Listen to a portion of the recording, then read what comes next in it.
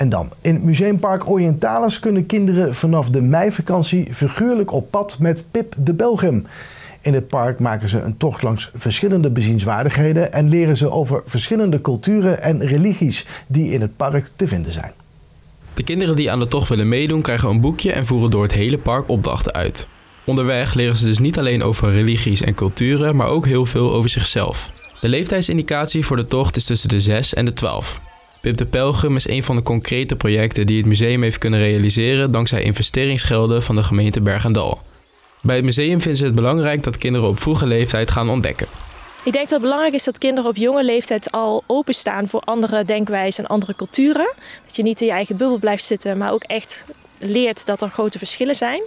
Maar ook dat het al belangrijk is op jonge leeftijd om na te denken over hoe zit ik zelf in elkaar en wat vind ik belangrijk, wat is voor mij belangrijk en hoe, hoe sta ik in, uh, in deze wereld. Dat is belangrijk omdat we in een tijd leven waar we elkaar een beetje uit het oog verliezen en de verbinding kwijtraken. En ik denk dat het goed is wanneer je wat meer van elkaar begrijpt. En ook de, ja, de hele mooie kanten van andermans cultuur en tradities, dat dat helpt te verbinden. En wanneer je meer over jezelf leert, helpt dat ook steviger in je leven te staan en keuzes te maken die ja, kloppend zijn. En dat natuurlijk allemaal wel spelenderwijs. Vooralsnog zijn de bezoekers enthousiast over de speltocht. Vooral als leuk en educatief gezinsuitje. Ja, ik krijg tot nu toe veel enthousiaste reacties. Vooral omdat het een heel een houvast geeft als je door het museum loopt. Het is een museum van 30 hectare. Je kunt er eenvoudig verdwalen.